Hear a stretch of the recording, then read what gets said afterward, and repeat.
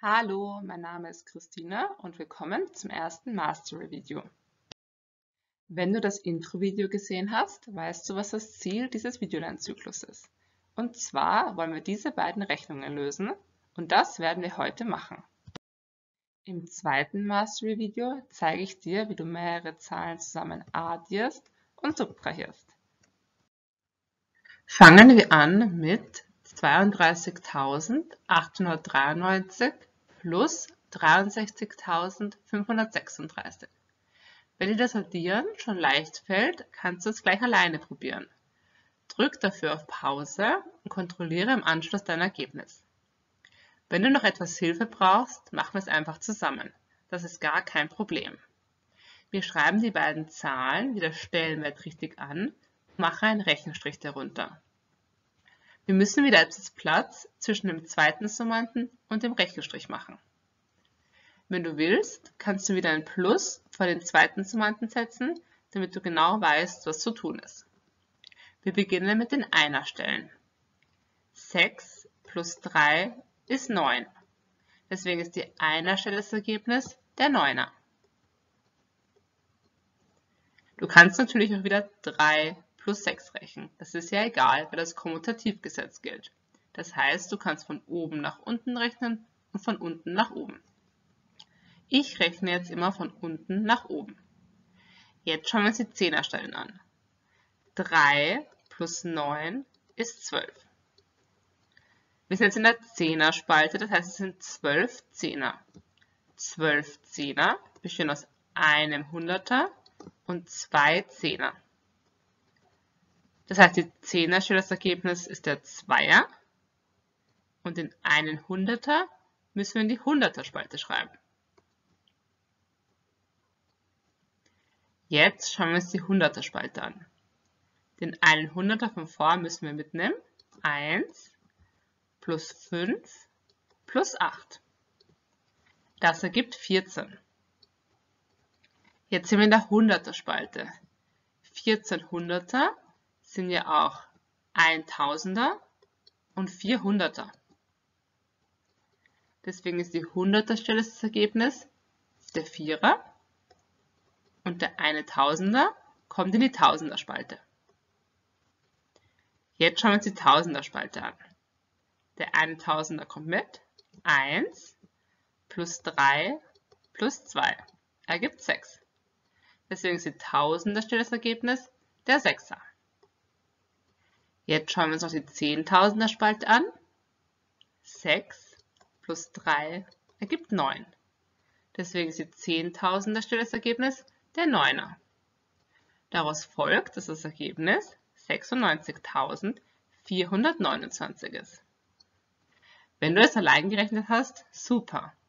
Und wenn nicht, ist das gar kein Problem. Du kannst dir das gerne noch einmal anschauen und die ganzen Rechenschritte nachvollziehen. Weiter geht's mit der Subtraktion.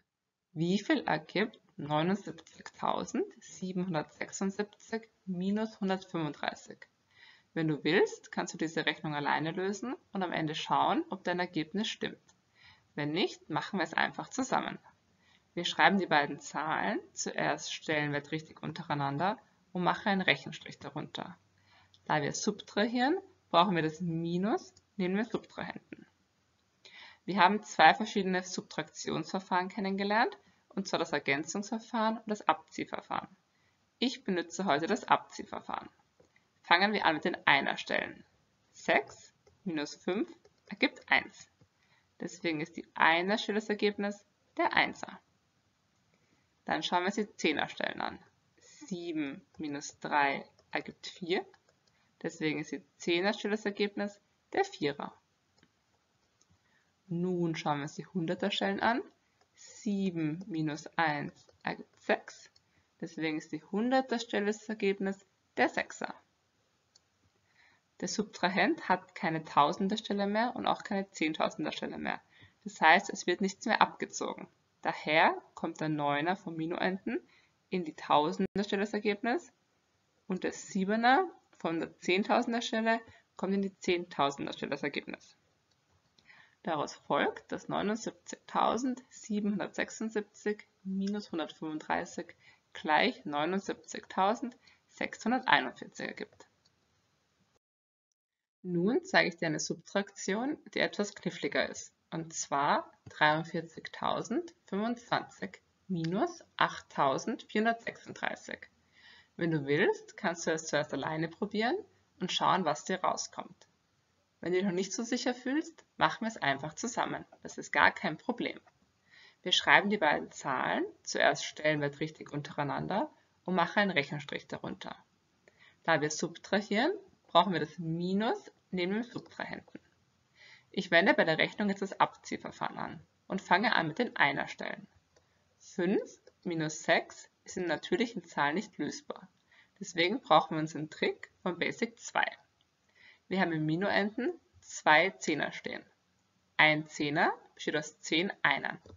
Das heißt, ich kann zu meinen 5 Einern einen Zehner dazuschreiben und streiche dafür einen Zehner weg im Minuenden. 15 minus 6 ergibt 9. Deswegen ist die Einerstelle das Ergebnis der Neuner. Jetzt schaue ich mir die Zehnerstellen an. Ich habe noch einen Zehner im Minuenden, das heißt 1 minus 3. Diese Rechnung ist in natürlichen Zahlen wieder nicht lösbar. Deswegen brauchen wir wieder unseren Trick. Ich habe Minuenden aber 0 Hunderter. Dafür habe ich 3 Tausender. 3 Tausender sind ja auch 30 Hunderter. Das heißt, wenn ich einen Hunderter zu den einen Zehner dazu schreibe, habe ich im Minuenden noch 29 Hunderter. Das 29 Hunderter sind 2000er und 9 Hunderter. 11 minus 3 ist lösbar und ergibt 8. Deswegen ist die 10er Stelle das Ergebnis der 8er. Jetzt schaue ich mir die 100er Stellen an. Ich habe 9 100er Minuenden minus 400er im Subtrahenten. 9 minus 4 ergibt 5. Deswegen ist die 100er Stelle das Ergebnis der 5er. Jetzt schaue ich mir die Tausenderstellen an. 2000er Minuenden minus 8000er im Subtrahenten. Diese Rechnung ist in natürlichen Zahlen wieder nicht lösbar. Deswegen brauchen wir wieder unseren Trick. Ich habe vier Zehntausender Minuenden. Das heißt, ich nehme einen Zehntausender und schreibe zu den Zweitausender dazu. Wenn ich das mache, muss ich aber einen Zehntausender wegstreichen. Das heißt, ich habe noch drei Zehntausender Minuenden. 12 minus 8 ergibt 4. Deswegen ist die Tausendstelle das Ergebnis der Vierer. In der Zehntausender Spalte habe ich nur noch den Dreier vom Minuenden und ich ziehe nichts mehr vom Subtrahenten ab. Deswegen schreibe ich den Dreier einfach in die Zehntausender Stelle das Ergebnis. Und daraus folgt, dass das Ergebnis 34.589 ergibt. Wenn du dich jetzt fragst, wie du mehrere Zahlen addierst und subtrahierst, schau dir das nächste Mastery-Video an. Ich hoffe, ich konnte dir weiterhelfen und freue mich, dich bald wiederzusehen. Bis bald. Tschüss.